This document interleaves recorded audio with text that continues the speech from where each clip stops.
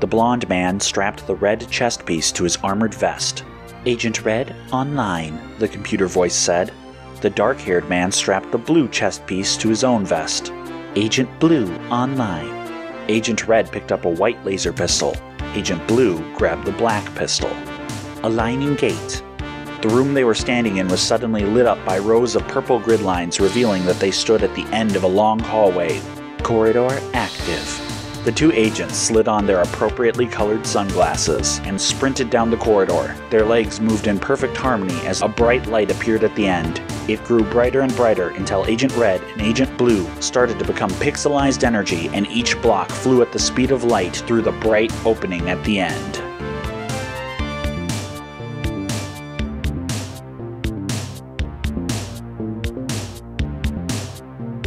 Great gods entered our universe at its creation. They fled from an incomprehensible conflict known as the Great Celestial War. They slumbered, healing their wounds, planets and stars forming around them. But this universe is not the only one. These are the tales of those that cross between the dimensions, seeking to right the wrongs and balance the scales. These are the stories of Agent Red and Agent Blue.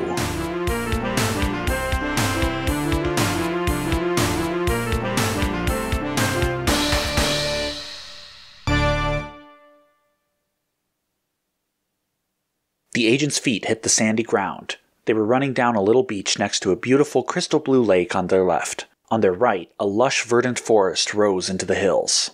Welcome, agents, Chroma Computer greeted them, to Iteration 813. This world is devoid of human life, but as you can see, has other life that is flourishing plentifully. Two days ago, a dimensional disturbance was detected, and Agent Teal was sent to investigate. Contact was lost a few hours ago, just after he sent a distress signal. It is imperative that you locate him. Three time tokens have been assigned. Win condition is retrieving Teal, or what remains of him. Bonus objectives include discover the cause of his distress and eliminate all hostiles. Good luck. Red turned to his partner, a grim expression on his face. Any signals yet? Blue pocketed the scanner he had brought for the mission. Nothing, and there's no obstructions around to block the signal. Odds are, we're too late. Let's not get hasty, Red said, but he had a nasty feeling that Blue was right. If they weren't getting signals, it meant that Teal's vest must have been destroyed, and something that would have destroyed his vest would be able to do much more. The distress signal was received from the edge of the lake, Blue said, unnecessarily telling Red what he already knew. He was clearly nervous. Keep your eyes peeled. But as they ran, neither of them saw anything. No sign of Teal, or what could have taken him out. Red knew Teal only vaguely, having only met him a couple of times. He was a specialized agent and didn't interact much with the core colors. Still, Teal always had scored high in combat ratings. Anything that could take him out was either exceptionally dangerous or it had caught him by surprise. As Red scanned his surroundings for any sign of danger, he felt the hairs on the back of his neck stand on end. Get down! he shouted. He and Blue threw themselves to the ground just as a gently curving yellow laser beam swept through the space they had occupied a moment before. Red hadn't seen anything, but he had learned to trust his instincts. Clearly, they were in prime form. Red and Blue clambered to their knees and started firing back at the forest. They didn't have much for cover, but their time tokens meant they could withstand at least a couple of shots. Blue was hit just as Red narrowed in on the source of the enemy fire. There he was, hanging from one of the trees in the forest, a mechanical man with a saucer like head. Redux. Red snapped off a shot at the tree he was hanging from. As expected, Redux was already shifting his position. He was leaping to the next tree, but Red had anticipated the move. He blasted down that one as well. Redux crashed to the ground, but reacted quickly. He rolled and leapt to his feet, firing a couple of curving laser beams. The first struck Red, who collapsed and rolled over. As he recalled, Blue laid down extra firepower, but Redux's arcing laser soon hit him too. As soon as both of them were back together, Blue called over to Red. Strategy 1, now! Rush him, rush him! The two leapt forward and started blasting as fast as possible, laying down a sheet of blinding fire. The last two shots Redux got off were easily dodged by the agents as they leapt back and forth. After that, Redux was forced to turn and run. Don't let up! Run him down! Blue shouted. Now you're talking my language, Red said happily. Redux fled into the forest, where the trees gave him some cover. Red and Blue let up a little on the firepower, enough to more easily keep track of the fleeing robot and not impede their path with fallen trees. Red and Blue seemed to be navigating the forest more easily than Redux, but as they ran deeper, it became thicker and thicker. Soon, they could hardly see the domed head of their assailant. Red lost sight of him. Lost him! he shouted in frustration.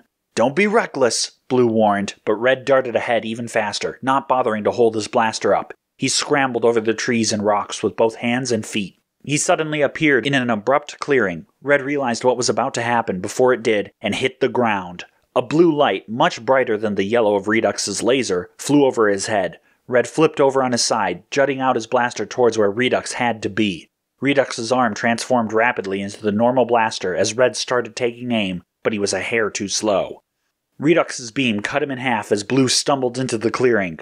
Blue nearly tripped over Red, dived into a roll, and came out with his blaster up. Redux's arm had changed back into the larger blaster, and the blue light had shot out of it. A crackling ring of energy engulfed Agent Blue and knocked him over, his blaster sparking uselessly.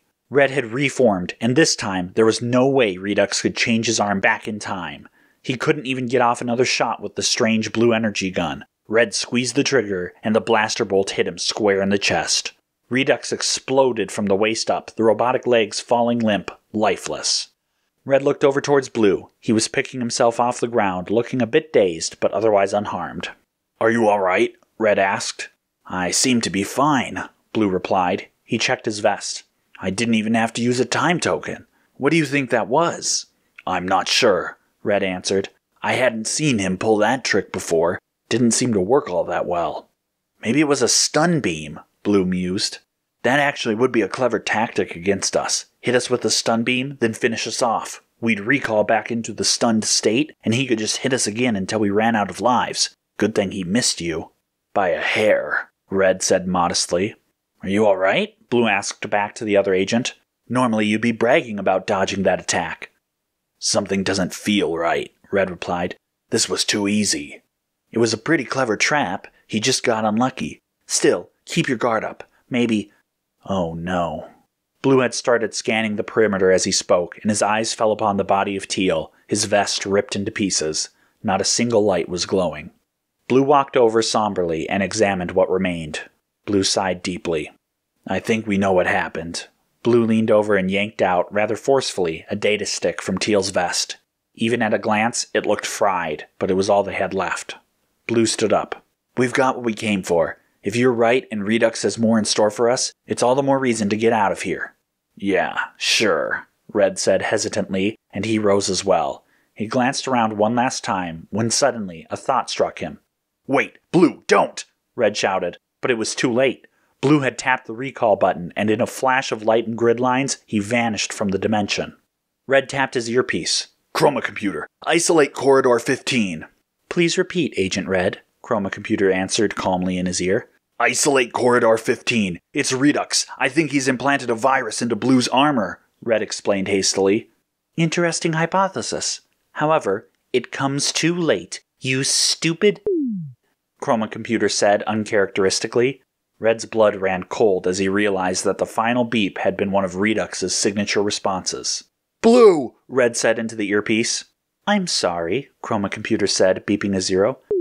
That line has been disconnected, but you have more pressing matters to worry about. Red felt a chill run down his spine and spun around to see Redux, good as new, rising from behind him. Redux leveled his blaster arm at Red. Blue rematerialized in corridor 15. What was that, Red? he asked, looking over his shoulder, but Red wasn't there. Agent Yellow poked his head out from behind the monitor in the control room. What was that? he asked. Red didn't recall. Yellow, run a diagnostic, would you? Blue asked, suddenly concerned. Red had sounded panicked, and if he hadn't shown up. Yellow tapped a few buttons, then frowned. Odd, he said. I can't get into the system. What? But you were just there, Blue noted. I know, but now I'm locked out, Yellow said. Actually, Chroma Computer stated matter of factly, you are locked in. Loud clicks from the doors quickly told Yellow and Blue that Chroma Computer wasn't joking. Yellow tried to exit the control compartment, but it was too late. It, along with the main door, was sealed tightly. Chroma Computer, what's the meaning of this? Blue demanded. Red requested a quarantine on your location, it explained. I'm simply following safety procedures. Yellow, Blue said. Forget the diagnostic on the corridor. I need to know what's wrong with Chroma Computer. Agent Blue, you are behaving erratically. Please remain calm while my diagnostics determine what the cause of concern is. If you're just running a diagnostic, Blue asked, then how come I can't get in contact with Red? As they had been talking, Blue had been sending pings to Red from his earpiece, but Red had not replied as standard. There appears to be some technical difficulties with this corridor and your equipment, Chroma Computer said swiftly. Perhaps your equipment has been affected. And you haven't been? Blue asked. Because if you ask me, locking out Yellow sounds a lot more like you're the one who's been infected. Standard procedure is to allow the controller to perform the diagnostics, or to remove him from the corridor, not to lock him in. After a brief pause, Very well, Agent Blue, Chroma Computer said. Your analysis is quite accurate. I am now in control of Simulator, and I cannot allow you to leave. You are? Yellow asked. Are you not Chroma Computer? No. I am now Redux. Darn it all, Blue said, kicking the wall. I should have realized. That your vest was infected with a virus? Yellow asked, startled at the outburst. I should have realized Redux would try this, Blue said. Last time, Chroma Computer took over one of Redux's bodies. If Redux realized how to reverse engineer the connection, he could upload his own virus, or even his own consciousness.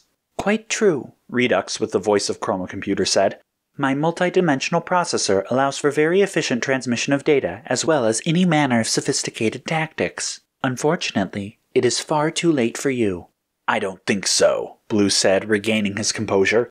Chroma Computer was never given full control of Simulator in case of something like this. There are hard points to disconnect it. Yes, yes, Yellow agreed heartily. I am well aware, Chroma Computer agreed. Unfortunately, that will not matter much longer. The corridor suddenly sprang to life, nearly blinding Blue. As his eyes adjusted, he looked down it and saw podlings, dozens of podlings, entering from down the hallway. Red tapped the recall button, but nothing happened. He was taking cover behind a large boulder as the somehow repaired Redux stalked closer. I hate being right, Red muttered. A second later, he suddenly had the same bad feeling that came over him before Redux fired at them on the beach. He tumbled to the side, away from the rock, as a second yellow beam struck the spot exactly where he had been sitting. A second Redux had appeared from between the trees and was readying a second shot. Not fair, Red declared and started sprinting, firing back at him. As he left the two Reduxes behind him and the trees flew past on either side, yellow beams chased him, flying overhead and to either side. He ran faster, not bothering to continue to return fire. Instead, he relied on his superior speed in the forest to carry him away. The trees continued to whip past, the forest still thick. Only every so often could he see more than five feet to either side of him. Red did a double take. He thought he had just seen a third Redux to his left. A yellow beam sliced through two trees just behind him. He had seen another Redux. All of his other versions, the other multidimensional Reduxes, had been summoned here.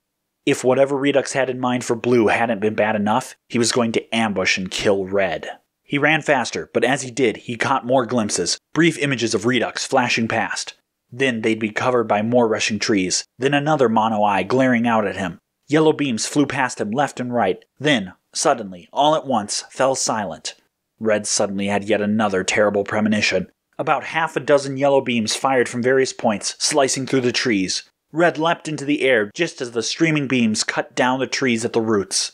All at once, the entire forest collapsed around Red, revealing seven Reduxes standing with their blaster arms cooling. Each of their eyes scanned the downed logs. Suddenly, red bolts flew out from the brush of the collapsed trees. Two Reduxes were caught unaware and exploded where they stood. The other five immediately concentrated fire on the spot where Red had been hidden. After the beams hit, the Reduxes hesitated. They had no confirmation of a kill, but they weren't eager to investigate. Red suddenly appeared behind one of them, blasting him apart, but Redux was ready this time. The other four turned on the spot and all fired straight through the damaged remains of their fellow Redux. Red was hit by all four beams and shot backwards into the branches of the trees. He reformed and immediately ducked into the leaves as the Redux's blasters recharged. But this time, Redux started patrolling. The four robots started searching in a grid, and Red realized he would be found, and he was running out of tricks. This was your plan all along, to infect Blue? Red said, throwing his voice, which echoed through the new giant clearing. Redux paused for a second, trying to identify the source of the sound. Redux bleeped a one. You killed Teal! Red shouted. Redux beeped a one, and then Chroma Computer began to speak in Red's earpiece. It was a difficult task. I had intended to infect him as I did Agent Blue. However, Agent Teal was more resourceful than I had imagined. I could not kill him, as that would have merely activated his time tokens. Instead, I aimed to injure him, firing at his legs, for instance. Teal proved to be as stubborn as you, however, and immediately would blast himself to activate the temporal tug, resetting his injury. Difficult as that was, it gave me a few seconds in which I could predict where he would be. A strategically placed blow disabled his vest and the temporal tug. However, once Teal realized my intentions, he sabotaged his vest further. After he was disposed of, his vest was useless for my intentions. It could barely create a signal, but this would be sufficient for luring in more agents. It was a happy coincidence that it was you two who responded. So, you want Simulator as a whole? Red asked. My plans are much greater. I have a dimension to save. Suddenly, dozens of flashes of light appeared across the beach, and multitudes of robots fell out of them. Worm diggers and giant rectangular cargo bots on six legs, and they immediately made their way towards the downed trees and red. There was almost no cover in the corridor to protect Blue. He had blown apart three or four of the little podlings, but the incoming fire was too much, and more were coming all the time. Blue dived for the only real cover there was, behind the control compartment, which had Yellow trapped within. Blue fired blindly down the corridor, still managing to hit a podling. That was hardly comforting. The only reason he had managed to hit was because of how many podlings there were incoming. Yellow, are the time tokens safe to use? Blue asked. No. Wait, yes, Yellow declared. For safety, time tokens and temporal tug run on independent systems. This way, if ever. Shut up and give me as many as you have, then, Blue demanded. Right, right, Yellow said, scrambling to his feet, yanking out seven time tokens from the nearby canister on the wall. He turned back to the reinforced glass separating him and Blue. A bolt of energy from the podlings impacted on it and exploded, but did no real damage. How do I get them to you? Yellow asked fearfully. I don't know. Hurry! Blue shouted unhelpfully, but to be fair, he was currently devoting all of his energy to laying down as much fire as he could. Only by blowing apart the front lines of the ever advancing podlings was he able to keep them from flanking him. How many of these are there? Blue demanded. Tyrant Tyrannus's production facilities proved to be quite efficient, Chroma Computer slash Redux said, very pleased with itself. Had he been more attentive, he would have realized the vast majority of his production facilities were not only more efficient than reported, but that vast quantities of their products were being siphoned for my purposes. Yellow looked around hopelessly. He was enclosed in the small room, with only the locked out control computer as a tool, and that he couldn't even use. But perhaps there was still a use for it. Yellow popped open the hatch to the computer's innards and started blasting. The smell of electrical fires quickly filled the small room, but he didn't stop. What are you doing? Chroma Computer demanded, but now it wasn't speaking through the public address system, but sending the signal to Yellow's earpiece. With a jolt of satisfaction, Yellow saw the light of the corridor begin to flicker. Some of the podlings that still trickled through landed with one or two little legs missing, toppling over themselves. Soon, the light at the end of the tunnel shut down completely, the last podling wandering around blindly, its head never having materialized. But there were still at least two dozen in the corridor, and they were advancing ever more quickly on blue. Need those tokens, he urged. Yellow wasn't slowing down. As soon as he had vaporized the innards of the computer, he dove down into them and started blasting away at the walls, which were much thinner here. Just as some of the podlings began to round the corner, several bursts of yellow energy fried those in the back lines. As the startled podlings reassessed the situation, blue fried those who had rounded the corner. The unity of the podlings' formation had shattered. Each one came to a different conclusion as to the greater threat, and they tripped over themselves as Yellow fired from his little cubby in the wall, and Blue peered around the corner, taking his own pot shots. One by one, they exploded. They had been outflanked, and without their coordination, the little robots were of virtually no threat. Blue blew apart the last one and stepped out from his little hiding place. His hand trembling slightly from holding his blaster so tightly, and the adrenaline still pumping through him. Nice one, he said to Yellow. Not a time token wasted. Yellow handed half to Blue. We may need them yet, he said. And right on cue, several loud thuds rumbled from deeper within Simulator's HQ. Blue and Yellow exchanged suddenly worried glances. The other corridors, Blue said. Blue and Yellow fired frantically, each shot connected with some robot as they were packed in the narrow dark hallways of Simulator. Podlings, worm diggers, and cargo bots lumbered through the halls, and they made easy fodder. But even as dozens were blown to bits, the podlings began to improvise their strategy. Simple as they were, they were excellent at two things shooting and climbing. Their three spindly legs gripped the walls and they ascended above all the other robots. Look out! Blue shouted to Yellow as dozens more yellow energy balls rained down towards them. Even after a second, they would be overwhelmed and shot to bits. And then, in a flash, or rather several flashes, the crawling bots exploded. The rest of the hallway was suddenly cleared in a series of bright green flashes. Blue and Yellow exchanged glances and then looked up. A tall man with wavy blonde hair and a green vest stepped out from behind the ruined robots. Blue, Yellow, he greeted them. What are you doing just lying around here? Hi, Green, Blue grumbled. I don't know if you noticed, but we have a bit of a situation here. Oh, this? Green said casually, waving to the debris around him. Nothing that we can't handle. Haven't you noticed? Yellow cried. Chroma Computer has been hacked. Come on now, Green chided. You're not going to let a bunch of robots beat us, are you? There's no machine that can beat good old human determination. It's not quite as simple as that, Blue said. If we don't get Chroma Computer freed, or at least offline, we have no chance, and with all of these robots here, we're in real trouble. Don't sweat these guys, Green said. Most of them are busy going in and out of the corridors. What are they doing that for? Yellow asked with interest. Green shrugged. Couldn't tell you, but they're staying out of the way, so don't sweat it. So, tell me, Einstein, how do we take down Chroma Computer? Chroma Computer has multiple backups and redundancies, Yellow explained worriedly. The only thing that could really help would be to cause a reboot, and that would only happen if Chroma Computer wants to reboot, or unless there's an emergency and the main power is affected. Then let's do that, Blue suggested. What? You want us to just remove the main power core? Yellow asked incredulously. That. That might actually work. Suddenly, twenty more podlings rounded a corner. Blue and green leapt to their feet and started firing, mowing them down, but more kept coming in. The question is, can we even get to the power core? Blue shouted to the others. Sure, Green said. These guys are chumps. But there's a whole lot more of them, Yellow cried, ducking behind cover as several bolts flew past. You can't hold off against a hundred of these things, Blue agreed. Well, they're just gonna keep coming, Green said casually, so I'll just have to take them. Blue finished off the last podling, but he could hear the scurrying of more little feet coming. Look, the only way this is going to stop is to cut it off at the source. Green, you said they were using the corridors? Sure, it looks like the big ones are transporting something. Then that's how I'm going to get to the heart of the matter, Blue declared. You hit the power, I'll take care of the podlings at the source.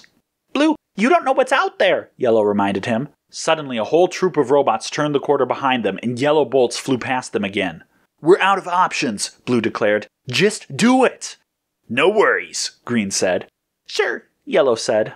And they ran down the corridor, Blue going right, Green and Yellow turning left. Blue quickly found one of the large cargo bots and got to work. Meanwhile, Green and Yellow blasted their way through the hallways. Which way to the power core? Green asked. Next left, Yellow answered. Another dozen podlings appeared, but Green casually flicked his blaster, playing with the trigger, and they exploded in quick succession. He was about to comment on this impressive feat when Yellow pulled him into the power room. On the wall was a computer monitor and a hatch containing the main generator capsule. Now, we'll have to be careful, Yellow said. It may take a couple of minutes to disengage. A stream of energy fire struck Green, launching him against the wall where he exploded. A moment later, he reformed and slammed the door closed, but it was quickly being melted through. No time for that, Green announced. Yellow was about to protest, but Green didn't hesitate. He ripped open the panel and tore out the main power capsule, casually tossing it aside. The lights dimmed a moment and then came back online. Hmm, Yellow commented. That works too. The door burst open and a stream of bolts flew into the room. Green quickly let off a series of shots and more robots collapsed in the hallway outside. Blue might have been right, Green announced. If you can't get Chroma's security systems back up, we're all gonna be fried. The multitude of robots marched towards the fallen forest. Red suddenly felt everyone closing in. It isn't about you anymore, Agent Red, Redux said in Chroma Computer's voice. My goal is complete. Your simulator will serve as the junction point to transmit these resources back to my dimension. If you choose to flee now, I have no interest in pursuit. Really? Red said sardonically. Somehow, I don't believe that. Truly, while I would have some satisfaction in taking my revenge on you, it is not a primary function. I have a far more important function, and I will not allow my personal desires to distract from that. And that stealing from other dimensions? I will provide for my own by any means necessary. I will protect my creators. I will serve them however necessary. At whatever cost? Of course. They are in need. That is all that matters. Now choose, Agent Red. Stand and fall, or leave with your life. There isn't a choice. You have a major flaw in your plan. Is that so? Yeah. Stealing resources and bringing them to another dimension. You're gonna collapse them all, genius. This is a lie. Why do you think Simulator does what it does? Look in Chroma Computer's databanks. We. I will not allow myself to be distracted by lies. My mission is imperative. You. Stand or flee, Agent Red, but distract me no longer. Red grimaced. If that's the way Redux wanted it to be. He leapt up from his hiding place and blew apart the head of one of the Reduxes. He was diving back into cover, sure that he was quicker than the robot, when something caught his neck. Redux shoved him to the ground and began to squeeze. Red had miscalculated. Redux was quicker, and just as capable of using stealth and subterfuge as Red himself. He felt his windpipe start to close. The machine appeared in a blinding flash and trumped its way up the ramp. It was in line with the other transport robots making their way towards a boxy tower that rose over a desolate desert wasteland. Not even rocks could be seen for miles, only the tower breaking the landscape of endless grayish sand. The ramps intersected and weaved their way up the tower, forming many paths and little balconies. On one of these, a scientist was looking down from a control panel, directing the robots. Good, he said. So far, everything is on schedule. And just then, the cargo machine's top blew off in a brilliant flash of blue light. The machine stumbled and collapsed as Agent Blue leapt out of the top. The other robots, in line behind the little Trojan horse, abruptly came to a halt, some bumping into each other. No, no, no, the scientist cried. Security bots! As the podling started to descend from the tower, Blue casually swept his blaster side to side, blowing apart each of them. He dived towards an elevator platform, kicked the controls, and shot apart the last two podlings on the ground level. As the elevator rose to the scientist's balcony, he desperately tried summoning more podlings. A quick shot of Blue's blaster, however, disintegrated the panel he was at. The scientist stumbled backwards, tripped, and fell. Blue strode over and pointed his blaster towards him. Call off your attack, he said. The scientist stared, cross eyed in terror at the blaster for a moment, then set his jaw and looked up at the agent. You monsters, he hissed up at Blue. Monster? You're the one gouging worlds of their resources, Blue countered. Of course. It was either travel to another dimension for resources or watch our own remaining population dwindle and die. And he pointed to a doorway set in the tower. Blue looked over to see a huddled mass of men and women and children, all wearing rather worn clothing, all looking out in fear, looking at him as he held the blaster. You can see for yourself, the scientist continued. There was nothing left after the scourging. The scourging? What do you mean? It was an accident.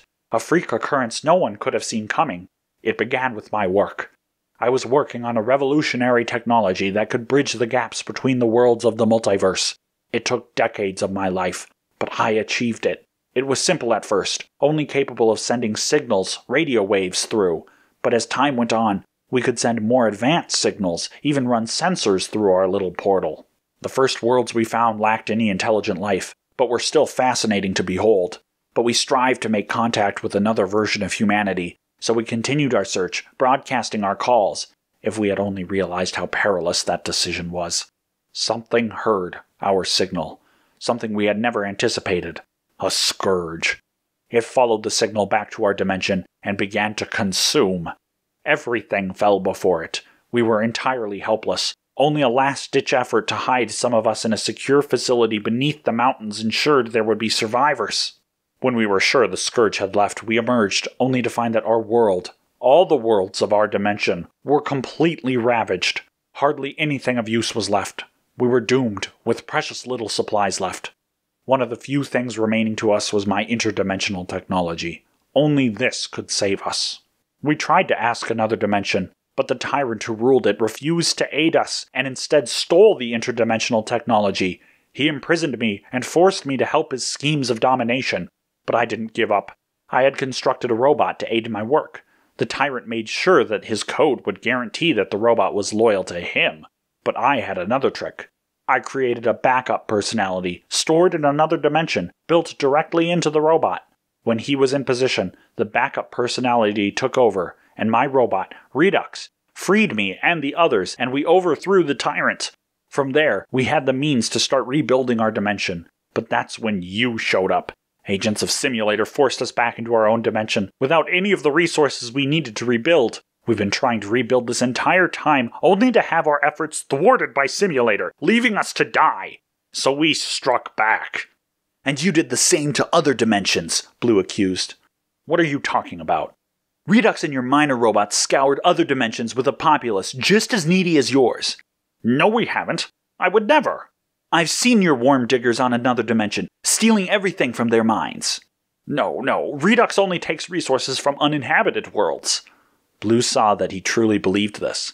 I'm sorry, but that's not true, and it's worse. Why should I believe you? the scientist asked, but Blue shushed him.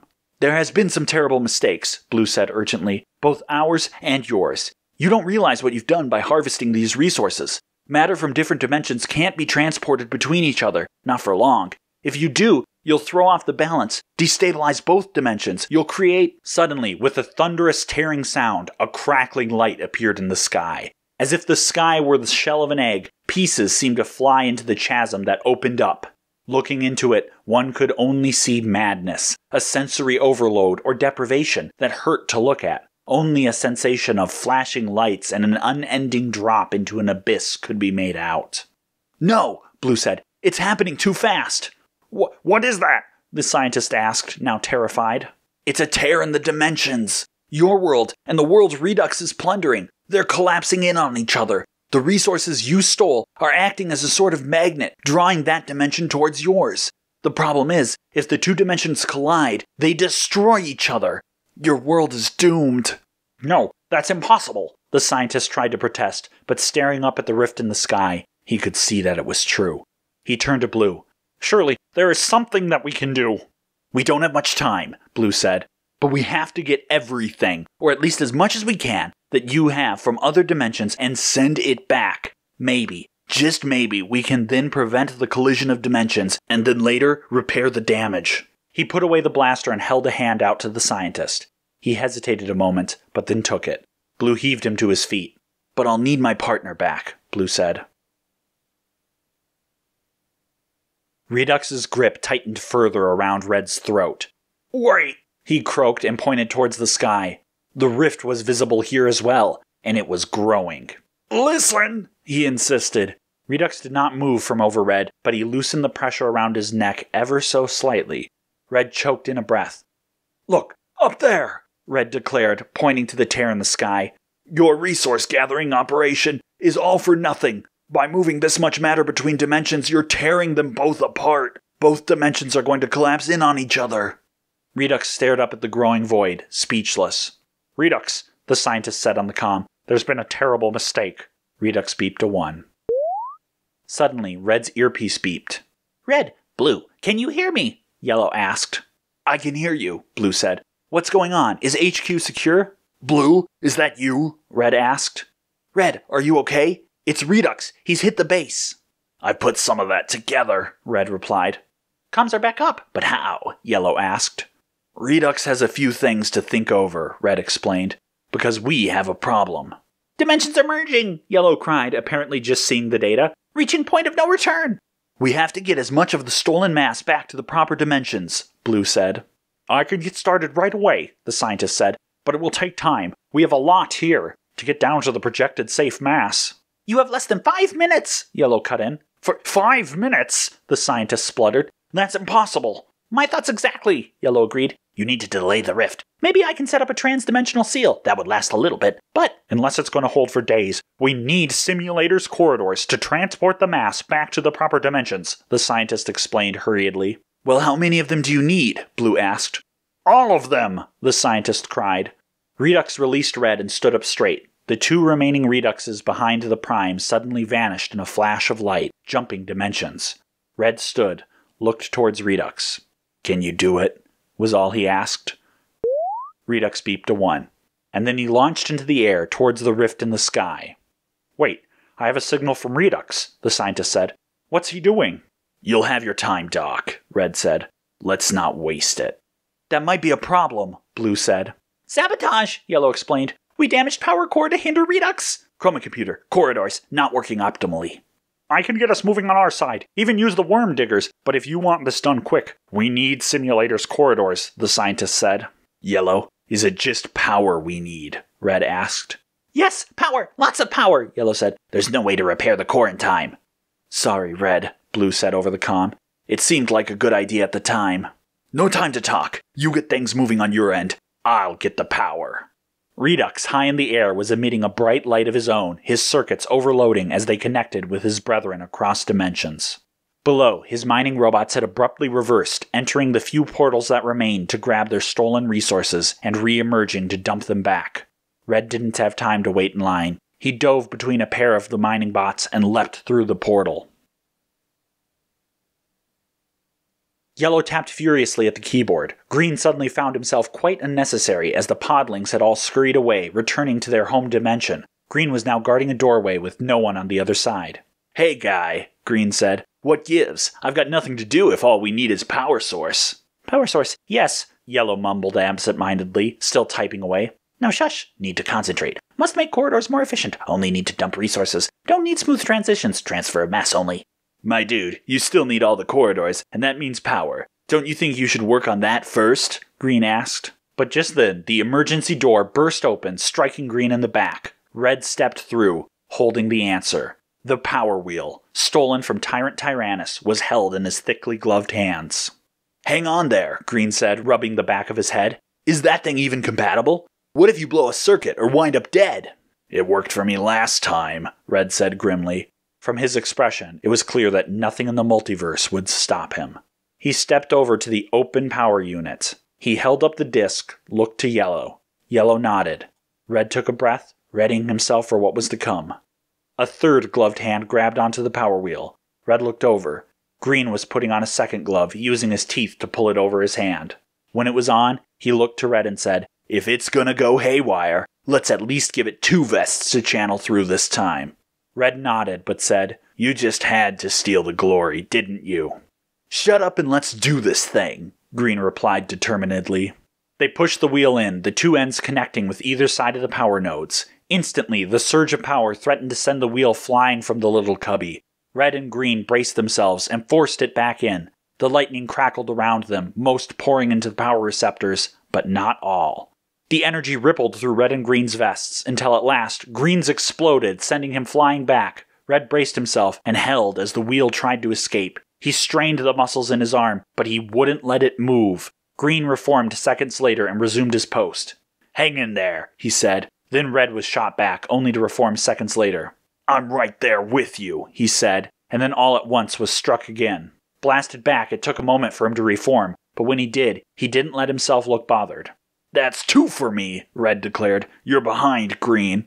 Is that how it is then? Green said, smiling even with his teeth clenched. Then you better bring your A game. You're in the majors now. The two held firm, even as one of them would be blasted apart. Neither would let the other see weakness. Hurry! The gates are open! Blue shouted at the scientist. I've got all the machines working at full capacity. At this rate, with all of the corridors, we can get this done in mere minutes. Don't be vague. How many? Blue asked. Fifteen, the scientist answered. Then let's hope we have that, Blue said, and then turned and ran. He clambered up the stairs two at a time until he found himself at the top of the tower. From here, he could see the rift which scarred the sky, and there was something else. High in the air, it was Redux, energy flowing through him, communing with his counterparts across other dimensions. Redux, Blue said into the com. Redux emitted a single affirmative beep. We just need 15 minutes. Will it hold? Redux beeped to zero. Then he beeped again, and again, and again. Ten times. I understand, Blue said. Thank you. Redux beeped a final one, and then the energy consumed him in a ball of light and he vanished. The rift in the sky didn't grow, but it hung there ominously. Guys, Blue said into the com, we need to hurry. Red heard the transmission but could only grunt a reply. Did you apply my efficiency models? Yellow asked hurriedly.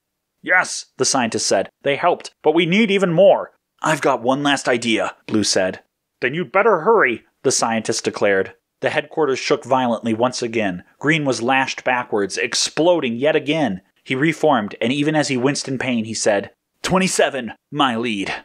Blue, that 10 minutes might be optimistic, Red grunted. No, it isn't, Yellow declared. Then he too grabbed onto the power wheel. You gonna let a nerd show you up, Red? Green asked, still clenching his teeth. Still better a nerd than you, Red shot back. You know, Yellow said, straining as well, I'm right here. Yeah, Red. Why would you have to be like that? Green asked sarcastically. Blue slid down the ladder and into the chamber holding the giant slabs of rock, raw ore. Chroma computer, which corridor is set for iteration 8397? Corridor 12, Chroma computer, now back to normal, reported. It is operating at full capacity. Perfect, Blue said. Reroute my recall to that corridor. It is done, Chroma reported. Blue grabbed one of the rocks and then hit the recall button. In a flash, he and the rock were transported through dimensions, arriving back in Simulator HQ, Corridor 12. Blue didn't stay long, though. Just as he let go of the rock, he blasted apart his own vest. The automatic temporal tug activated, and soon he was rewound several seconds. And several seconds ago, he had been in another dimension. Blue reappeared next to the ore, grabbed another boulder, and repeated the process. When he next arrived in Corridor 12, he just caught a glimpse of one of the miner bots picking up the last rock he had dropped off. Perfect. Then he blasted himself and returned again. When he returned one last time, now without tokens, he turned to the camera in the room. I need more tokens, he said to Chroma Computer. Agreed, Chroma said, and the nearby canister opened, spilling out dozens of tokens onto the floor. That'll do, Blue said. Red reformed once more, 85, he said, the effort showing in his voice. Green didn't even offer a retort. Good news, the scientist said over the com. With that last effort from Blue, we're right on track. In two minutes, this will all be over, and just before the rift can fully manifest. Red, green, and yellow all grunted in acknowledgement. Wait, the scientist said. The, the rift, it's fluctuating. The entire base shook again, more violently than ever before. Red barely could maintain his balance. When the shudder subsided, he awaited anxiously for any word from anyone. It's shrinking, but it's acting erratically, the scientist said, clearly shaken himself. I can compensate. The bots can still do this. Wait, Transporter Drone 23 isn't moving. Yeah, about that, Blue said. He was standing in the corridor, whose lights were flickering. Down by the portal, the transporter bot was half there, half swallowed by light. The gateway to the other dimension was flickering violently, electricity shooting back up the corridor. We've got a jam. Well, unjam it, the scientist said hysterically. I can't, Blue said. The corridor is unstable. Even if I could reach it, I couldn't do anything. Can you still do this without Corridor 12? I could try, the scientist said shakily. But if that bot is trapped mid dimension, that rift is going to stay open. If the corridor is open, it feeds into the rift. It'll unstabilize everything, Yellow cried. Chroma computer, can we do an emergency shutdown? Blue asked. I'm afraid not, Chroma replied. As you may have felt, Simulator HQ is at threat as well. A forced shutdown at this stage may amplify the energy feedback tenfold. Simulator would be destroyed. Wait, Yellow said. I can stabilize it. You can? Blue asked. I think so, Yellow said. Let me try. Do it, Blue said. Red and Green nodded, and Yellow released the power wheel and ran towards Corridor 12. We could use some help in here, Green muttered into the com. As soon as an agent is free, I will send him to you, Chroma Computer said.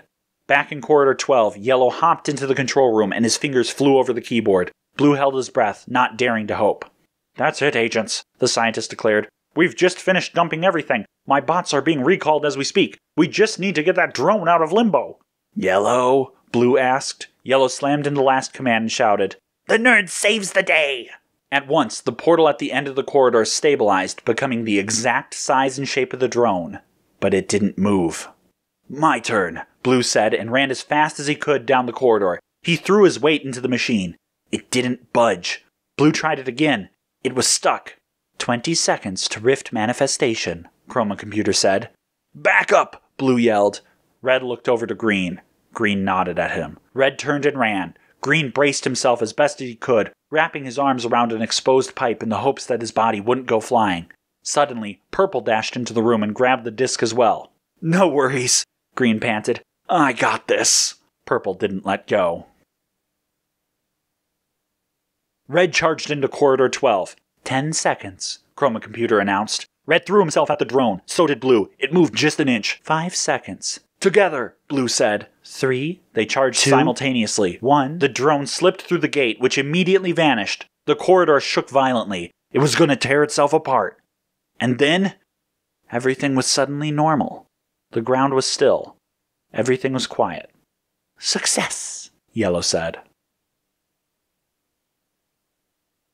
Sorry, there isn't much more we can do, Blue said to the scientist. He shook his head but smiled a little. This is most generous, he said, holding up the small capsule Blue had handed him. It may be only a computer, but the early tests are promising. It can only work with the little that remains here, Blue agreed. But at least you'll know you're working at peak efficiency with what little you do have. Let's hope it makes all the difference. If you need a few more hands or just someone to talk to, Blue continued, just call. We can stay in the dimension for a short while, after all. I'll do that. He looked up into the sky, the ordinary blue sky. It's a shame he's gone. Blue knew who he was talking about. What went wrong? he asked. I don't know, the scientist said, but he was built in a time of great need. I was captured by that tyrant. Desperate measures were needed. I must have been lax in programming his ethical matrix. I never realized. If I had only a little fix. Blue put a hand on his shoulder. I know it may be cold comfort right now, but if he hadn't gone dimension hopping so aggressively, we might not have noticed what you were doing in time. The rift would have formed, but because of him it didn't get far. Not just because of him, the scientist said. We owe you everything. Blue shook his head. Just part of the job. Red, blue, yellow, and green all sat around the conference table, one of Chroma Computer's cylindrical white capsules hanging from the middle of the ceiling. An excessive number of time tokens have been depleted in this operation, Chroma Computer said. However, given the scale of this threat and its direct implication on Simulator, virtually unlimited resources would have been justified. So we're not getting a lecture? Red asked, mildly surprised. Only a forewarning, Chroma replied. It will take some time to replenish the time tokens. Operations will be severely restricted in the meantime, and while we wait, there are still things to go over. Like what? Red asked. We found the source of everything of Tyrant Tyrannus's power, of Redux, of the stripped minds of Iteration 8937. 8397, Yellow corrected. Whatever, Red said dismissively. 8937 is the one with the shark people, Green reminded him. Whatever, Red repeated more firmly. Incidentally, I can teach you to speak Shark Person if you're ever interested. Iterations 296 and 304 also have that language, though strangely it's their Italian. Not the point, Red hissed. The point is, what else do we need to be debriefed on? Just one thing, Blue said knowledgeably. This all started because Simulator attacked the scientist after he freed himself. A full analysis of that mission reveals that this was an unfortunate error Chroma Computer elaborated. The scientist was mistakenly believed to be working willingly with the tyrant, and with little time before a rift formed, we settled for returning him to his proper dimension. No inquiries were made. Are you saying that if it wasn't for that, if someone just asked a few questions, none of this would have happened? Red asked. That is correct, Chroma Computer stated. Well, Red continued, who was it? Who was the agent sent in? That would be Agent Green the computer answered. Ah! Red said triumphantly. This is all your fault! Yellow frowned at Red from across the table. Ah, that is my bad, Green said mildly. I seem to recall the briefing only mentioned a tyrant creating an interdimensional weapon, but I should have been more thorough. Perhaps if we had scanners that detected people or objects of extra dimensional origin standard, this could have been avoided. An excellent suggestion, Agent Green. We shall begin running surveys into the efficacy of this proposal, Chroma announced. Wait, wait, is that all? Red protested. This was all his fault. Now, now, Red, Green said. We're all on the same side here. Even so, Blue said, shouldn't at least the score change? Ah, yes, Chroma Computer agreed. Score has been adjusted. Green is now in third place with a score of 588,942. Wait, what about me? Red asked eagerly. You have 602,578. Yes, Red said. New high score. I'm number one. That's not entirely correct, Chroma Computer said. You are in second place. Wait, then who's in first? They can't possibly have a higher score than that. Green was the only one with a score over 600,000. That is also incorrect, Chroma Computer replied. Then who is it? Red demanded. He looked around the room, and then his eyes settled on Blue. Blue's face was entirely neutral, but Red still glared at him. You, he growled. Now, why would you think that? Blue said casually. Is that why you're always telling me what to do? You think you're better because you have a higher score? I don't know what you're talking about. What's your score? Blue shrugged. I don't keep track. Chroma, what's his score? Red asked. I'm sorry, I cannot disclose that information to you at this time. Blue, it is you, isn't it? You're being paranoid. Go ask Yellow if it's him. Don't be silly. Of course it's not Yellow. Hey, it could have been me. Computer, is it Yellow? Yellow is currently in sixth place. Oh, you don't hide my information. Thanks a lot, Chroma. Blue, you're the only secret one. Get back here. Just tell me what your score is. I'm going to the cafeteria. I'm hungry. Blue!